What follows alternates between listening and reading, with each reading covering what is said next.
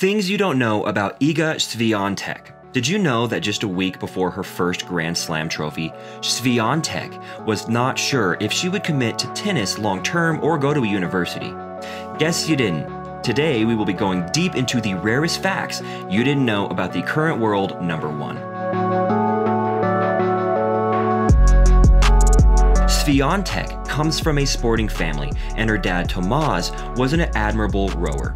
He represented Poland at the Olympic Games in Seoul in 1988 in men's quadruple sculls, coming in seventh place, and at the World Championships taking fifth place, among other achievements. Her older sister Aga also played tennis for a while, but eventually decided to study at the university like their mom. He once joked a few years ago that he had already learned from his mistakes regarding his daughter's tennis career. He hoped whatever didn't work with Aga would work with Iga. Iga has been a Rafael Nadal fan for a long time and now roots for him anytime she gets the opportunity. She once explained that she admired him as an athlete and loved his fighting spirit and described him as a model sportsman, claiming he always fights until the very end. She also admitted that she admires his playing style and high top spins, stating that she also likes to play the same way. Iga described his left handed forehand as amazing and feels that it has earned him more than one tournament win. She revealed that she likes Roger Federer too and has said it's hard not to consider him a legend of the sport as well. But when it comes to style and personality, Rafael Nadal just does it for her, especially because of his energy. Swiatek stated that Rafael Nadal's approach to tennis is what she plans to model her career on.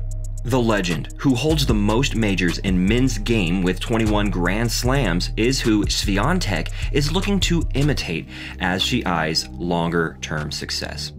In a recent interview, Swiatek once explained that she saw her career plan like Nadal's. According to her, she felt closest to his approach because he focused on his day to day work without thinking about records. This approach helped her stay calm, but she also admitted that everyone was different, which made her understand Novak Djokovic's way of openly declaring which records he wants to break. One thing is for sure, Rafael Nadal definitely inspires her a lot. She claims she has lots of fun watching him play on TV, and his mental strength was the major lesson she has learned from his performances. She had even gone as far as crying once when he lost to Djokovic at the Roland Garros final in 2021. Ever heard of the calm before the storm? Iga is just exceptional. Most players are always tense before the game, but Iga claims she is always calm and prefers to listen to music to relax before a game. Her playlist includes Pearl Jam, Red Hot Chili Peppers, Pink Floyd, Santana, Coldplay, and ACDC. Wonder how she is so fascinated with rock music from the past? Well, she explained that when she was going to tournaments, that's the music her coaches listened to, and it just stayed with her. So she grew fond of it. According to her, music has more value in the past, which is why she is so fascinated with older music.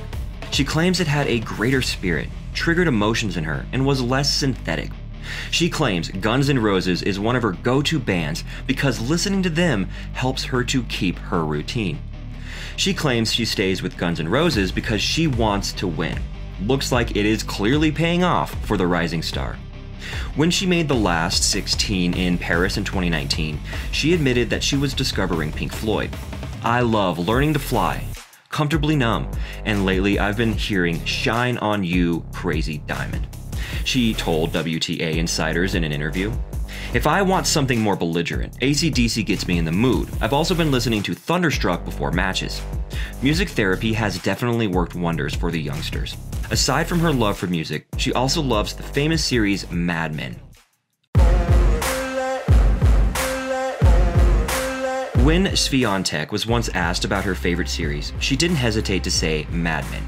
She recalled, the series has a calm, retro atmosphere as it happens in the 60s, but at the same time, it portrays the early stages of advertising in the US in an engaging way. It's important for me that I can learn something motivating from a series, and this one shows many instruments and ideas, which are obvious for us, but were something brand new at the time. Iga is a cat lover and has only one at her house in the moment, and his name is Black Grappa. But she would certainly want to have more than one cat someday. She loves to take timeouts during her practice sessions to spend time with Grappa. When asked about the meaning of the name, the youngster said with a smile, Well, it's easy to figure out. I'm still yet to figure that one out. Iga revealed that she really enjoyed Cathedral of the Sea by Ildefonso Falcones.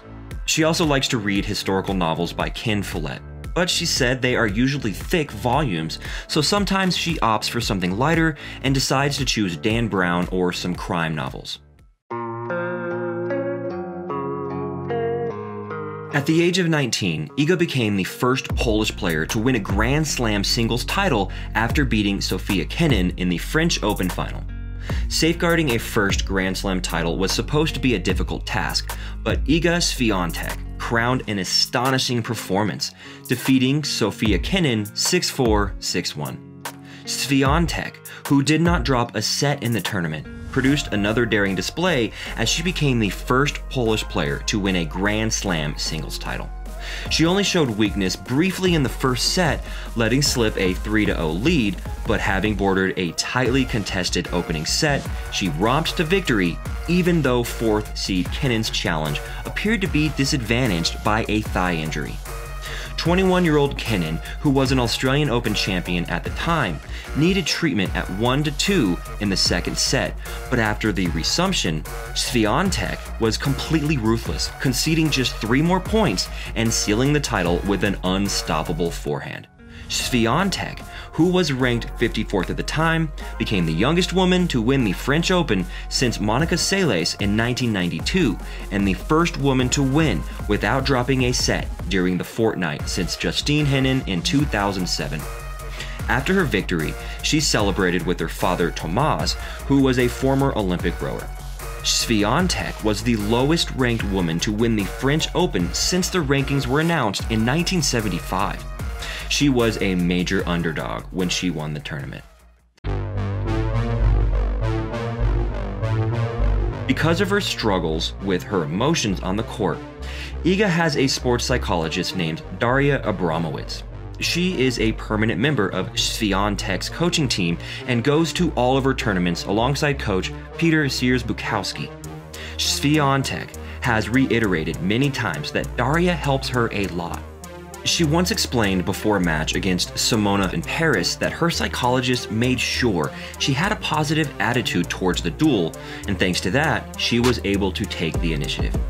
Daria once gave her a ukulele, a musical instrument used to help her control her emotions better. In an interview with Tennis Majors, Daria spoke about what makes Iga Swiatek different and the impact of her influence on Iga's game or during interviews with Iga.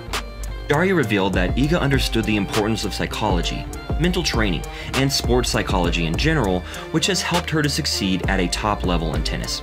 The specialist explained that even on Iga's worst day, she was always open minded, able to process things, and ready to learn, and they have found ways to work well together. Daria claims that we can hear a lot of her thoughts and knowledge she is passing on to Iga when we listen to Iga's interviews. According to Daria Abramowicz, winning in Paris has been a crucial experience for Iga Swiatek. She said Iga has become more mature than before, steadier, and more thoughtful about some things. Which of these unknown facts surprised you? Comment below.